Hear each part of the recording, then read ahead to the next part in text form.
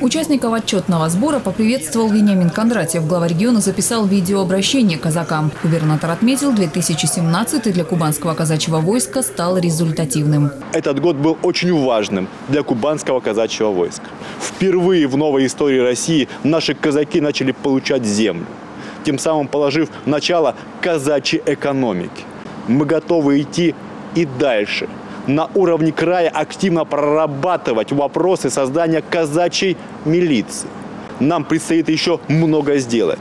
И я рассчитываю на активную позицию каждого из вас. От рядового казака до атамана. Участники отчетного сбора отметили, 2017 был и богат на значимые исторические события. Одно из главных – первый Всероссийский казачий форум, который провели в Краснодаре. На встрече приняли судьбоносное решение для всех казаков России. Это, конечно, предложение об объединении всех 11 реестров казачьих войск в одно всероссийское реестр казачьих войск России. Президиум Совета по делам казачества при президенте Российской Федерации принял такое решение в 20-х числах февраля 2018 года провести всероссийский сбор по объединению в этом году на Кубани уже объединили казачью молодежь. В Новый Союз вошли 85 тысяч школьников и студентов. Кроме того, кубанские казаки продолжают активно помогать правоохранителям, а также создают ЧОПы. По распоряжению атамана войска Николая Долуды в 2018-м казаки возьмут под охрану все дошкольные и общеобразовательные заведения края.